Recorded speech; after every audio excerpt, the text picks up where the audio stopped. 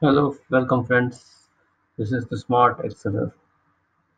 This video I'm going to show you how to get full marks for the things which are not applicable for some criteria so that we can have a fair justification.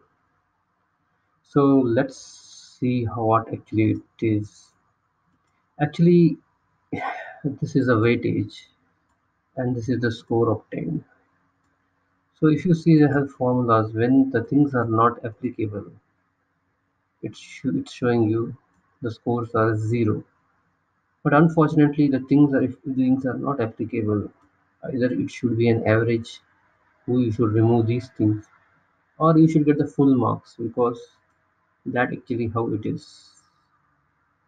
So if anything is not applicable, this is a small framework I have made. So if you have a big framework, a large number of data, and you have things which are not applicable, how can you do the analysis? Because that is not going to be an apple to apple comparison. So just I have made a small strategy and I'm going to make show you how this can be implemented. Suppose the score over here is 10 so I should get a 10 but the score is not applicable because of this. Then I should get the whole mark the whole weightage. So we can see there is a huge difference in this both scores. So let me show you how it works. So this is the score actually. And when I have to do a not applicable and when I evaluate these things so you can see that these three things and the score will be 22.5 only. But in reality the weightage over hits should calculate all these things because we have to consider because this is not applicable. So we can't give a fair justification. So we should get the full marks. So it depends upon it how you want to use it. You can give full marks or you can give half marks or you can give quarter marks. So this is just an example to set that. So I will be showing the first step so if you want to have a score certainly different from what you have in the right columns. So let me remove this and just I will make this. So as you see that there two things are not applicable. So the score over here is 10 and 22.5 respectively.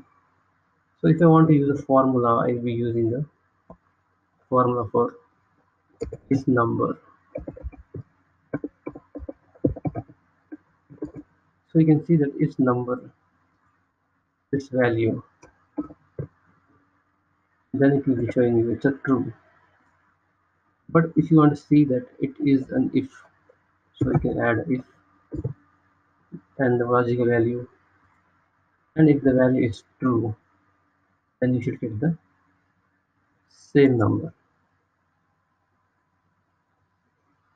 Or else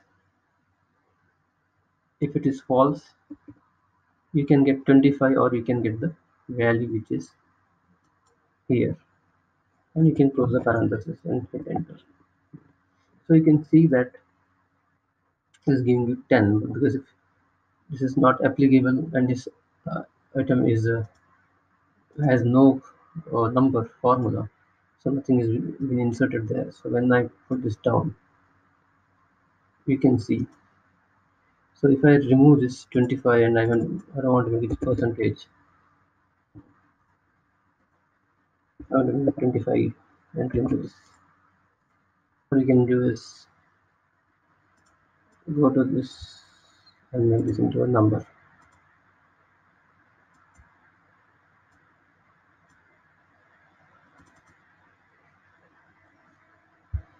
So now you can see you should get a full marks for those things. Now if you make this as a hundred so the things get changed. If you make this as 200 things get changed. So your original mark sheet should not be relative uh, subjected to some common error. So this is a formula. If the number is if the things are not applicable the scenarios are not applicable you should get the full score and if this things are applicable if you have something which is under this let me just broaden this. If you have something which falls under this any of these criteria or if you, then then you can get the score what is required. So i'm going to show you in the next video how to get a justification value and i'm using a little, a little bit in the formula so i'll be using countif and i'll be showing you how to use it in the whole scenario so i hope you find this video useful and please refer to my second series on this video so I can make it bit by bit and very easy to understand. Thank you for watching. Thank you for subscribing and thank you for giving your valuable comments. I hope to see you in the next video. Thank you very much.